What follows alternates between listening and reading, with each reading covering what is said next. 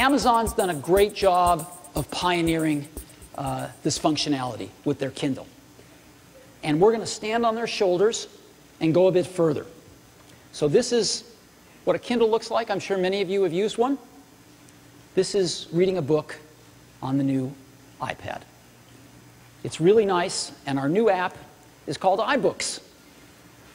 Now, iBooks has a bookshelf, looks like this, where you have all your books. If you want to read one, you just saw what it looks like. It's terrific. You can go into portrait and see both pages if you'd like. And in addition to having your bookshelf and being able to read books, there's a button in the upper left corner of the bookshelf, which is the store. And we've created the new iBookstore, fully integrated with the iBooks app to allow you to discover and purchase and download ebooks right onto your iPad. So you can discover books. We've got, of course, our top charts lists, the New York Times bestseller lists, and we've got five of the largest publishers in the world that are supporting us in this and are going to have all their books on the store. And we're going to open up the floodgates for the rest of the publishers in the world uh, starting this afternoon. So we're going to have a lot of books on the bookstore. We're very excited about this. We think it's going to be a great app. So let me go ahead and show it to you.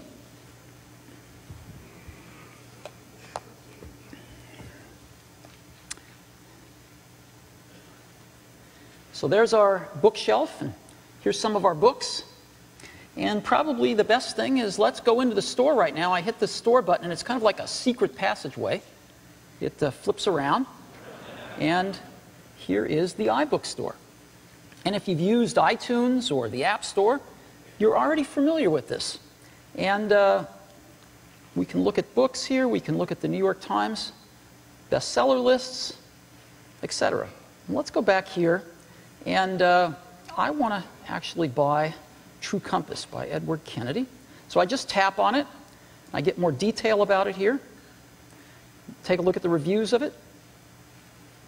And I'm going to buy it. I get a sample of it to read if I'd like, but I'm, I'm sold already, so I'm just going to go tap on it and buy this book.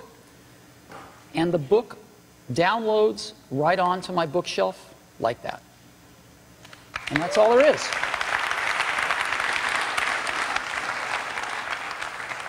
It's just so simple. And now if I want to read that book, I just tap on it. And here it is. And this is what it's like to read a book. I have some controls. I can just tap in the center and the controls go away, get them back, send them away. And to flip the page, I just flip forward. I tap anywhere on the right. And I flip forward. Flip back, just tap on the left. That's it.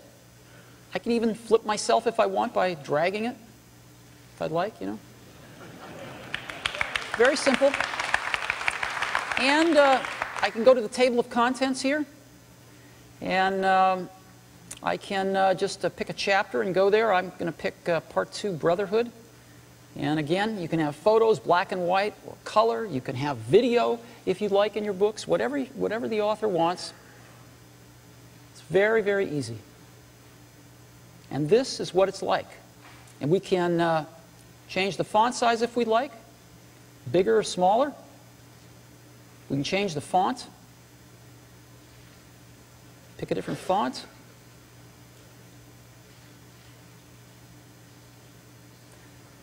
Whatever you want. And that is iBooks.